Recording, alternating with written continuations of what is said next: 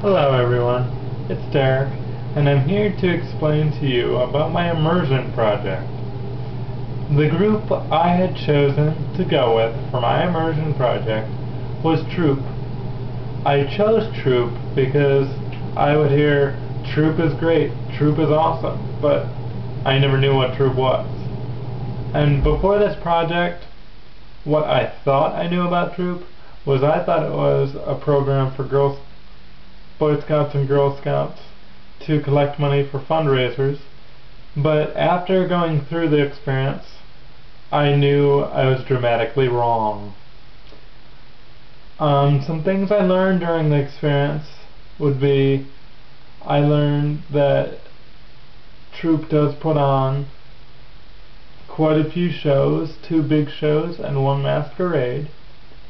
Some things I did during my experience, during the meeting, would be I was immersed into their meeting. So they talked for a little bit, and then we played three improv games. The first one is questions only, where you can only ask questions.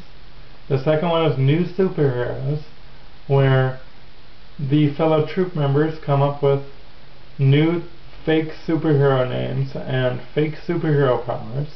Like, I was McDonald's man, and my power was I could make anything on the McDonald's menu with my mind.